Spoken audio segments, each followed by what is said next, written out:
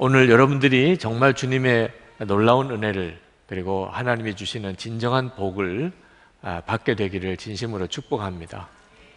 여러분, 하나님이 여러분에게 주시는 가장 놀라운 복이 무엇인지는 아십니까?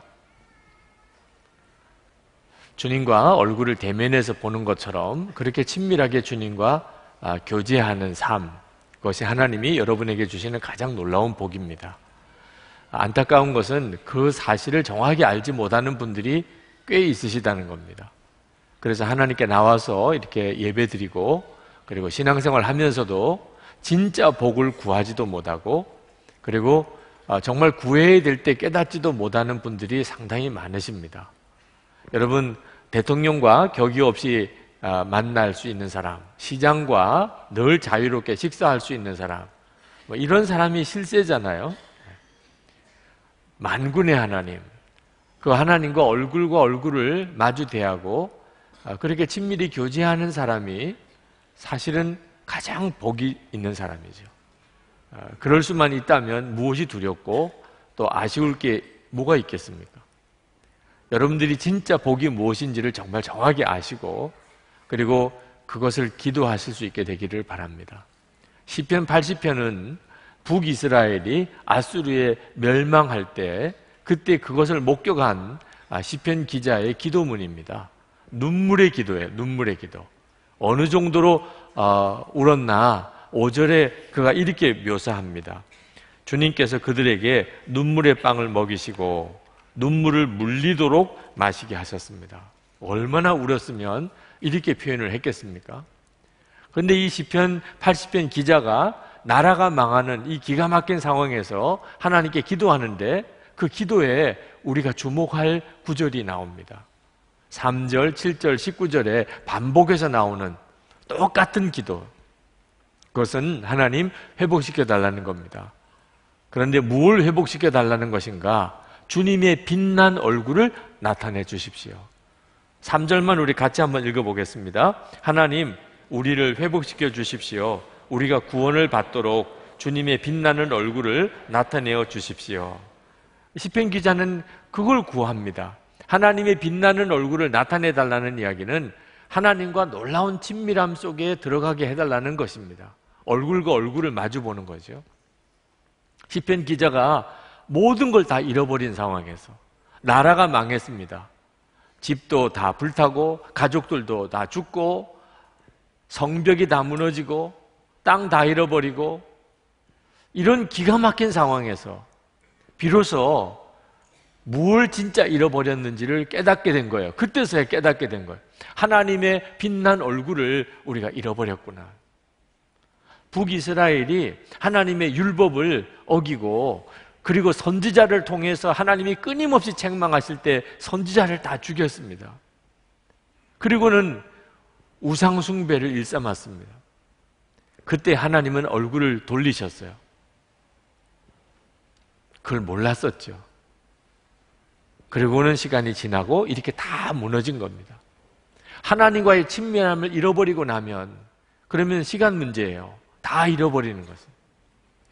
시편 기자가 그걸 그때서 깨달은 겁니다. 그래서 그가 하나님 앞에 나라가 망했을 때 뭘 기도했느냐 하면 하나님의 빛난 얼굴을 우리에게 다시 나타내 보여주십시오. 그럴 수만 있다면 그러면 회복되는 것도 시간 문제니까 하나님의 빛난 얼굴을 우리가 다시 바라볼 수 있게 된다면 그러면 잃어버린 거 다 그 다음에 회복되는 거는 시간이 지나가면 저절로 되는 거니까. 이것이 시편 기자의 간절한 기도였습니다. 민수기 6장에 보면 하나님께서 제사장들에게 이스라엘 백성들에게 아, 축복 기도를 해줄 때 꼭 요 내용으로 기도하라고 아주 정해 주신 말씀이 나옵니다. 민수기 6장 22절부터 27절입니다. 여호와께서 모세에게 말씀하여 이르시되 아론과 그의 아들들에게 말하여 이르기를 너희는 이스라엘 자손을 위하여 이렇게 축복하여 이르되 지금 읽는 말씀은 여러분을 향한 축복 기도가 되기 원합니다. 여호와는 내게 복을 주시고 너를 지키시기를 원하며 여호와는 그의 얼굴을 내게 비추사 은혜 베푸시기를 원하며 여호와는 그 얼굴을 내게로 향하여 드사 평강 주시기를 원하노라 할지니라 하라. 그들은 이같이 내 이름으로 이스라엘 자손에게 축복할지니 내가 그들에게 복을 주리라. 하나님께서 이스라엘 백성들에게 복을 선포하실 때 핵심은요, 하나님의 얼굴을 그들에게 비추게 그렇게 축복하라고 하신 겁니다. 그러니까 하나님의 얼굴이 비추는 것에 모든 복이 다 담겨 있는 것입니다. 만약에 이스라엘 백성들이 하나님의 말씀을 어기고 하나님의 징계를 당했을 경우에 그 이스라엘 백성들이 하나님 앞에 나와서 무슨 기도를 해야 합니까? 이것도 정해 주셨어요. 하나님의 얼굴을 우리에게 돌이켜 주소서. 하나님의 얼굴을 구하라는 겁니다. 그러면 하나님이 다 돌이켜 주시겠다는 거죠. 이, 뭐, 이 솔로몬이 성전을 짓고 일천 번제를 하나님께 드린 다음에 하나님이 솔로몬에게 하신 말씀 중에 이 말씀이 또 나옵니다. 역대하 7장 14절 내 이름으로 일컫는 내 백성이 그들의 악한 길에서 떠나 스스로 낮추고 기도하여 내 얼굴을 찾으면 내가 하늘에서 듣고 그들의 죄를 사하고 그들의 땅을 고칠지라. 그러므로 여러분이 만약에 하나님의 징계를 당한다고 그렇게 느껴지신다면 그러면 여러분이 무슨 기도해야지요? 주님의 얼굴을 구해야 하는 겁니다. 집을 잃어버렸어요. 건강 잃어버렸어요. 직장 잃어버렸어요. 가족들이 다 깨졌어요. 그때 뭘 기도해야 되는 거죠? 하나님의 얼굴이 나에게 다시 비춰주기를 기도해야 한다는 거. 그래야 정확한 기도인 거예요. 여러분이 정말 놓치지 말아야 할 것은 주님의 얼굴을 대면하여 보는 것처럼 주님과 친밀한 삶을 사는 겁니다. 나는 그렇게 살고 있는가? 오늘 이렇게 우리는 하나님을 믿는 사람으로 주일에 교회 와서 예배를 드리지만 주님과 나는 얼굴을 대면해 보는 것처럼 그렇게 친밀한가? 만약에 그렇지 않다면 대단히 두려운 것입니다. 왜냐하면 다 잃어버리는 때가 곧 올 거예요. 주님과의 친밀함을 잃어버리고 났다면, 그러면 우리에게 보장되는 게 아무것도 없습니다. 여러분에게 필요한 것은 건강의 회복도 또는 재정적인 어, 회복도 또는 여러분의 일터의 회복도 가정의 회복도 근본적으로는 아닙니다. 주님과의 친밀함의 회복이 가장 근본입니다. 여기서부터 다시 회복이 시작이 되는 것입니다. 한국 교회가 지금 다시 회복해야 될 부흥도 교인 수가 아닙니다. 교인 숫자가 줄어든다는 것 때문에 지금 한국 교회가 비상에 걸려 있습니다. 그러나 진짜 한국 교회가 잃어버린 것은 교인 숫자가 아니고 하나님과의 친밀함입니다. 하나님과의 친밀함을 회복하는 데서부터 다시 회복과 부흥이 일어나는 것입니다. 그런데 이 시편 기자는 하나님의 빛난 얼굴을 비춰달라고 하나님께 기도하면서 또 하나님께 구하는 것이 있는데 하나님 돌아와 달라는 겁니다. 하나님 우리에게로 돌아오세요. 2절에 보면 우리를 도우러 와 주십시오. 14절에 만군의 하나님 우리에게 돌아오십시오. 이렇게 기도합니다. 시편 기자는 생각하기를 북이스라엘이 망했을 때 하나님이 이스라엘을 떠나셨다고 생각이 들었던 겁니다. 떠나셨으니까 이런 일이 벌어지죠. 그러니까 시편 기자는 계속해서 하나님께 돌아와 주십시오. 돌아와 주십시오. 그렇게 기도를 하고 있는 겁니다. 그러나 하나님은 이스라엘 백성을 떠나지 않으셨습니다. 하나님은 북이스라엘이 아수르에게 망할 때 하나님은 그것을 같이 그 자리에서 지켜보고 계셨습니다. 하나님이 하신 것은 얼굴을 감추신 겁니다. 하나님이 얼굴을 감추고 나니까 하나님이 안 계신 것처럼 느낀 거지 하나님이 떠나신 게 아닙니다. 우리도 누군가가 고통을 당할 때 그 사람을 위해서 기도하면서 하나님 이 사람에게 와주세요. 하나님 이 사람에게 지금 임재해 주세요. 이렇게 기도할 때가 있습니다.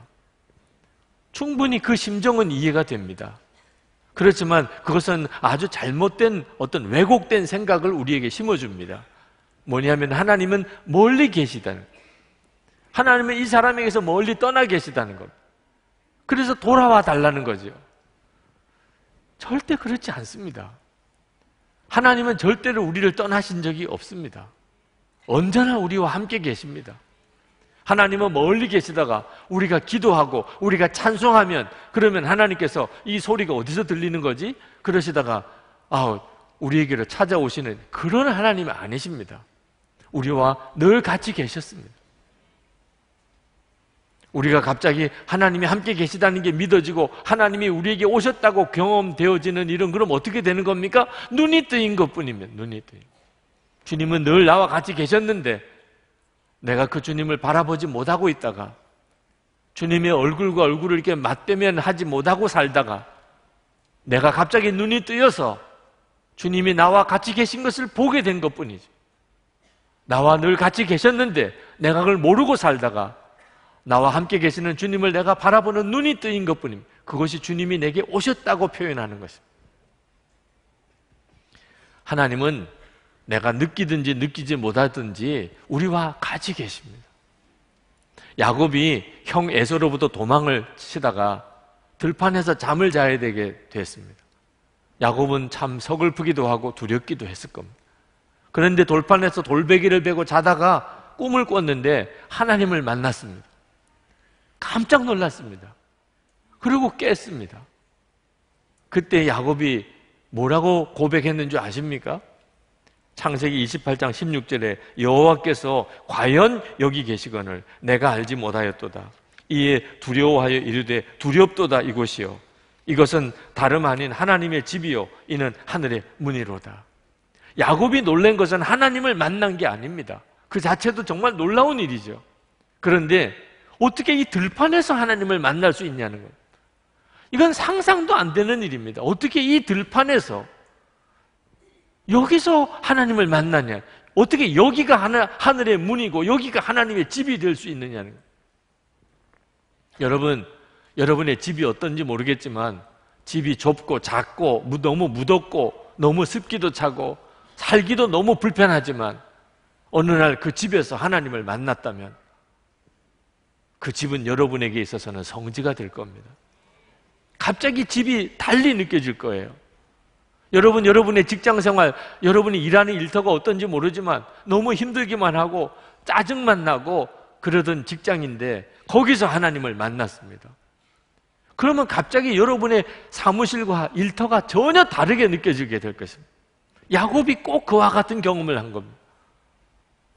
어떻게 하나님이 여기서, 여기서 나를 만나 주실 수 있지? 모세가 미디안에서 40년 동안 양을 쳤습니다. 미디안 광야는 모래바람 이는 황량한 벌판이지만 거기서 40년 동안 양을 치다 보면 그러면 목자에게는 길이 환히 보입니다. 들판이 다 똑같은 들판이 아니고 거기에 길이 있다는 게 보입니다. 양떼를 이끌고 여기를 가면 먹을 게 있고 저기를 가면 물이 있고 목자가 그래서 그 40년 미디안 광야길을 양떼들을 먹이는 거지요. 그날도 이 모세는 양떼들을 이끌고 미디안의 광야길을 지나가고 있었습니다. 그런데 갑자기 그 길 옆에 있는 어, 덤불 나무에서 불이 붙었습니다. 그리고 거기서 하나님을 만났습니다. 하나님의 음성을 들었습니다. 그리고는 그 하나님께서 신을 벗어라 내가 선 곳은 거룩한 땅이라. 모세는 충격을 받았습니다. 아니 어떻게 이 미디안 들판이 거룩한 곳이 될 수 있냐? 모세는 40년 동안 애굽에서 왕궁에서 자랐습니다. 이집트 여러분 다 아시잖아요. 신전이 얼마나 의리의리하고 거창한지 피라미드와 스핑크스 다 우리가 다 보는 엄청난 유적지 아닙니까? 신은 그런 곳에 있는 거죠. 신은. 그런데 지금 자기가 보는 이 미디안 들판은요 신이 있을 만한 곳이 못 됩니다. 그런데 이곳이 거룩한 곳이라니. 여러분, 출근하기 위해서 지하철 타려고 계단을 막 뛰어 내려가는데 갑자기 주님이 신 벗어. 거긴 거룩한 곳이야. 얼마나 황당하겠어요. 이 지하철 계단에서 신을 벗고 여기가 거룩한 곳이라니. 여러분, 장보려 가는데 골목길에서 갑자기 주님이 신 벗어 여기가 거룩한 곳이야. 꼭 그런 상황인 거죠. 이건 말도 안 되는 거죠. 거룩한 곳, 하나님을 만나는 곳은 이런 예배당이죠. 또는 기도원이죠. 상상이 안 되는 것이었어요. 어떻게 지하철 타고 타러 내려가다가 어떻게 시장 보러 가는 길에 여기서 내가 하나님을 만날 수 있나? 성경은 일관되게 우리에게 말씀합니다. 하나님은 사람이 만든 어떤 거룩한 곳에 계시지 않습니다. 우리가 눈이 뜨이지 않아서 보지 못할 뿐이지 하나님은 항상 우리가 있는 어떤 곳에서든지 거기 같이 계십니다. 그 눈이 열리기만 하나님이 원하시는 거죠. 그게 바로 하나님의 얼굴을 보는 것입니다. 여러분, 이 시편 80편 이 기자가 그토록 갈망했던 그 기도가 여러분에게 그대로 이루어진 거 아십니까? 주님의 빛난 얼굴을 나에게 나타내 보여 주옵소서. 이것이 시편 80편 기자의 간절한 갈망이었습니다. 그런데 예수를 믿는 모든 사람에게 모든 사람에게 특별한 사람 아니고 믿음 좋아 보이는 사람 아니고 무슨 선교사님이나 목사가 아니고 장로님만 아니고 모든 그리스도인에게 예수 믿는 모든 그리스도인에게 주님의 빛난 얼굴을 나타내 보여주셨어요. 예수를 믿는다면 믿어지지 않으시는 분이 있으실 거예요. 그 점이 참 안타까운 거죠. 여러분, 우리는 주님의 얼굴을 보는 정도가 아닙니다. 주님이 아예 우리 안에 오셨다니까. 주님이 우리 안에 오셨어요. 그저 얼굴만 보는 정도가 아닙니다. 빌립보서 2장 13절에 너희 안에서 행하시는 이는 하나님이시니 골로새서 1장 27절에 너희 안에 계신 그리스도시니 곧 영광의 소망이니라. 고린도후서 13장 5절에 예수 그리스도께서 너희 안에 계신 줄을 너희가 스스로 알지 못하느냐. 성경은 계속해서 이 말씀을 하고 계십니다. 예수를 믿은 우리들 구약 성경을 보고 그리고 복음서를 보면 우리가 얼마나 놀라운 은혜를 받고 있는지 알 수 있습니다. 시편 기자는 그게 소원이었어요. 그래서 주님의 빛난 얼굴 한번 보는 것. 그런데 우리는 그 주님이 우리 속에 들어와 계세요. 이것이 우리가 누리는 놀라운 복음입니다. 안타까운 것은 이것을 그냥 지식으로만 알고 있는 것. 들어본 적만 있는 거죠. 어느 목사님이 사기를 치고 간음까지 저질러서 감옥에 들어갔습니다. 그 목사님을 면, 면회를 간 아, 목사님 한 분이 그 목사님에게 물었어요. 목사님은 도대체 언제부터 예수님의 사랑에서 멀어지셨습니까? 근데 그 목사님이 하는 이야기가 나는 한 번도 하나님의 사랑에서 멀어본 적이 없습니다. 아니, 말도 안 되잖아요. 아니, 그렇다면 어떻게 당신이 이렇게 사기도 치고 간음죄도 짓습니까? 저는 지금까지 하나님이 나를 사랑하신다는 걸 한 번도 잊어본 적도 없고 멀어져 본 적도 없습니다. 그러나 주님이 제 안에 계시다는 것 때문에 한 번도 두려워 본 적이 없었습니다. 목사님이 충격을 받았어요. 어떻게 이럴 수 있는가? 하나님이 나를 사랑하세요.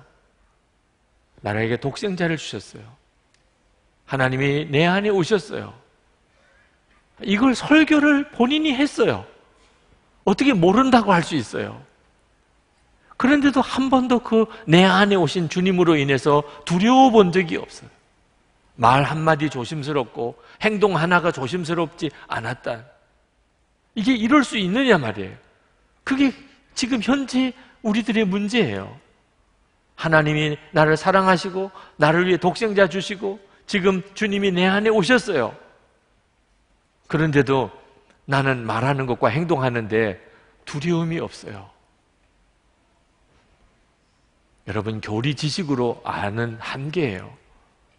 성경 지식으로만 알면 이 복음은 아무 능력이 없어요. 주님의 얼굴에 빛난 그 얼굴이 나에게 나타났다. 이것은 눈이 열린 거예요. 이제는 진짜 믿어지게 된 거예요. 이때부터 우리의 삶에 복음의 능력이 나타나는 것입니다. 여러분, 우리가 하나님 앞에 정말 찬양할 것은 하나님의 위대하심만 아닙니다. 하나님은 정말 위대하시죠. 우리가 진짜 하나님께 찬양할 것은요, 그 하나님이 내 안에 오셨다는 거예요. 여러분, 하나님이 위대하시다고 하는 것에 대해서 아마 다 동의하실 거예요. 한 사람도 아마 아닌 사람 있을까요? 그런데 하나님이, 그 하나님이 내 안에 오셨다는 것에 대해서는 아마 많이 갈라질 거예요. 여러분, 진짜 하나님이 여러분에게 주시는 복, 그 위대하신 그 하나님이 내 안에 오신 것. 그저 얼굴만 비춰주는 정도가 아니고 내 안에 오신 것. 이거야말로 진짜 복이에요. 홍정길 목사님께서 너무 자기가 늦게 깨달으신 게 있다고 그래서 안타깝다고 말씀을 하신 적이 있었습니다. 목사님 무엇을 그렇게 늦게 깨달으셨냐고. 그랬더니 목사님 말씀하시는 것이 웨스트민스터 소교리, 소요리 문답의 첫 번째 질문이 사람의 제일 되는 목적이 무엇인가? 답이 뭐냐면 사람의 제일 되는 목적은 하나님을 영화롭게 하는 것이고 영원토록 그를 즐거워하는 것이다. 그런데 목사님은 그 이 말씀을 우리가 하나님을 즐겁게 해드리는 것이 하나님이 우리를 창조하신 목적이다. 그렇게 이해하셨다는 거예요. 사람은 하나님을 즐겁게 해드려야 된다. 영화롭게 해드려야 된다. 그런데 어느 날 다시 한번 곰곰이 읽어보았어요. 사람의 제일 되는 목적은 하나님을 영화롭게 하는 것과 영원토록 그를 즐거워하는 것이다. 하나님을 즐겁게 해드리는 것이 아니고 하나님을 즐거워하는 것이다. 이건 완전히 다른 거예요. 우리가 하나님을 즐겁게 해드리려고 하는 일은 굉장히 부담스러운 일이에요. 우리 능력으로 할 수 있는 일도 못 돼요. 그런데 하나님이 우리에게 원하시는 것은 그게 아닙니다. 하나님을 즐겁게 해달라고 하시는 게 아니에요. 하나님을 즐거워하라. 나를 즐거워하라. 하나님을 즐기는 거예요. 이것이 우리를 창조하신 목적이에요. 이걸 너무 늦게 깨달으셨다는 겁니다. 여러분, 우리가 하나님을 즐거워할 때 하나님이 즐거워하시는 거예요. 우리가 즐거워하는 것을 보면서 그것이 하나님이 즐거우신 거예요. 그리고 우리 삶이 바뀌는 겁니다. 하나님을 즐겁게 해드리려고 하는 게 아니고 즐거워하면서 하나님. 이따금 저를 보면 아주 어려워하는 분도 있고 또 아주 저를 친밀히 생각하는 분도 있어요. 엘리베이터 타보면 알아요. 저를 보면 타는 분도 있고 저를 보면 내리는 분이 있어요. 자, 저는 어떤 사람을 보고 즐거울까요? 저를 보고 격이 없이 아주 즐겁게 저와 함께 엘리베이터에 타는 분을 보면 저는 즐거워요. 어떤 어린애가 저를 보고 그렇게 이야기하더라고요. 어떻게 그렇게 머리가 늙었어요? 흰머리가 난 걸 그 아이는 그렇게 표현하더라고. 머리가 어떻게 그렇게 늙었냐고. 아주 뭐 거리낌 없이 서슴없이 그렇게 이야기를 하는 걸 보고 저는 그 아이가 버릇없이 이야기한다고 느껴지지 않고 너무 좋은 거예요. 그렇게 말해주는 사람이 없어요. 외로워요. 네. 우리 부목사님들이 정말 저를 위해서 동력해 주시고 열심히 교회를 잘 섬겨 주세요. 그건 정말 고마운 일이고 때때로는 너무 무리할까 봐 좀 걱정스럽기도 하고 미안하기도 하죠. 근데 저희 딸들 저를 위해서 그렇게까지 막 애를 쓰지 않아요. 근데 제가 누구를 더 즐거워할까요? 저희 딸들은 저를 만나기 위해서 화장 안 해요. 다른 사람을 만나러 갈 때는 화장하는 것 같아요. 어느 날 저희 딸들이 저를 만나려고 화장하기 시작하면 저는 아마 슬플 거예요. 여러분, 즐거워한다는 거. 그거 하나님이 정말 원하시는 거예요. 하나님이 우리에게 하나님을 즐겁게 해달라고 요구하지 않으시고, 나를 즐거워해라. 이것이 예수를 믿는 거예요. 우리를 위해서 십자가 지시고, 우리 안에 오신 이유는 오직 하나예요. 우리가 주님을 즐거워하게 하는, 즐겁게 여기는 겁니다. 이것이 주님의 빛난 얼굴을 우리에게 보여주시는 거죠. 그래서 영서일기를 써보자는 겁니다. 일기가 초점이 아닙니다. 왜 초등학교 때 끝낸 일기를 또 쓰라고 하느냐? 초점이 일기가 아닙니다. 주님은 나를 사랑하시고, 나를 위해 십자가 지셨고, 그리고 지금 내 안에 오셨고. 그렇다면 나도 그 주님을 좀 알아야 되잖아요.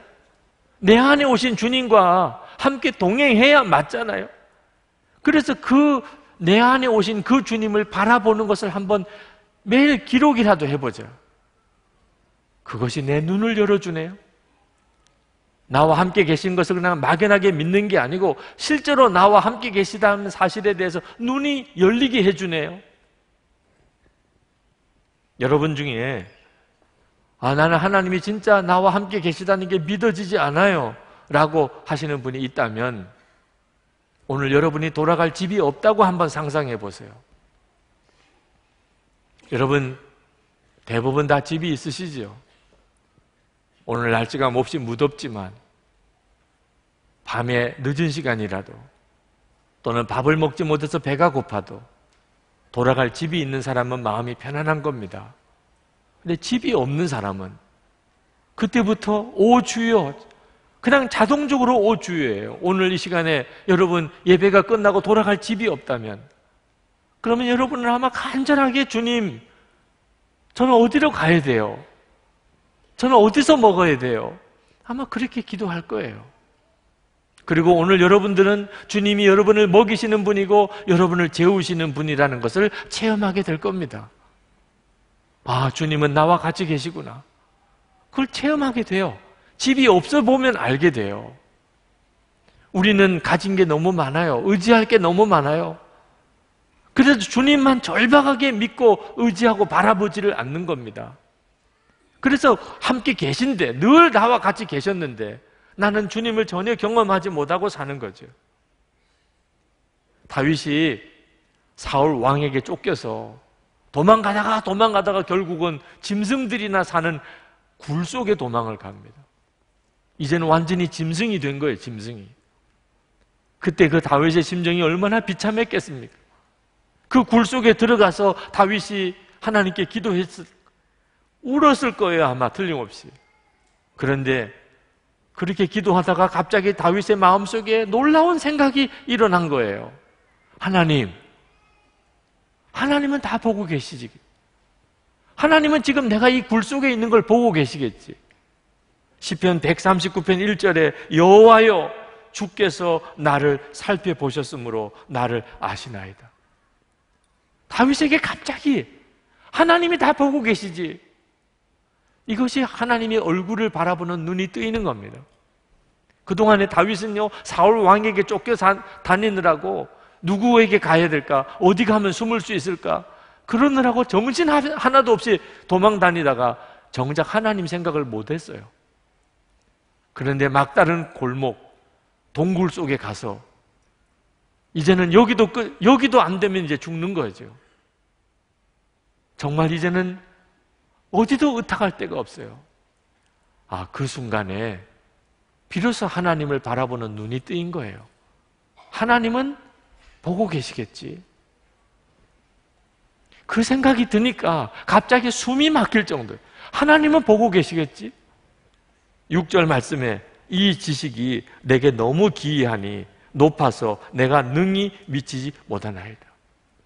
한동안 숨이 막힐 정도로 그렇게 다윗이 마음이 그냥 전율 하는 거예요. 그리고 그가 고백합니다. 7절부터 내가 주의 영을 떠나 어디로 가며 주의 앞에서 어디로 피하리까? 내가 하늘에 올라갈지라도 거기 계시며 수월에 내 자리를 펼지라도 거기 계시니이다. 내가 새벽 날개를 치며 바다 끝에 가서 거주할지라도 거기서도 주의 손이 나를 인도하시며 주의 오른손이 나를 붙드시리이다. 내가 비록 이 동굴 속에 이렇게 돌아왔지만 하나님의 인도하심이구나. 하나님이 인도하신 거구나. 그때 이 다윗의 마음속에 내가 짐승처럼 이렇게 동굴에서 살아야 된단 말이야? 이런 생각이 없어졌어요. 여기가 하나님이 나를 인도하신 것이구나. 하나님, 하나님이 나를 보고 계시는구나. 그래서 다윗은 그 동굴에서 잘 살았어요. 마음 정리가 됐어요. 여기서 살라고 하시면 여기서 사는 거지 뭐. 그 아둘람 굴이 다윗 왕국의 모체가 됩니다. 사람들이 그 아둘람 굴 속에 있는 다윗을 찾아 물어 물어 모이기 시작한. 다윗이 마음 정리가 되니까 어떻게 마음 정리가 됐죠? 하나님을 바라보는 눈이 뜨인 거예요. 한 남자 성도가 아내가 세상을 떠나서 장례를 치렀습니다. 그런데 딸이 또 죽을 병에 들었어요. 너무너무 어려운 일이 겹쳐 일어났습니다. 모아둔 돈은 다 탕진했습니다. 병원비로 다 없어졌어요. 그분이 그런 상황에서 하나님을 만났습니다. 그리고 이렇게 고백했어요.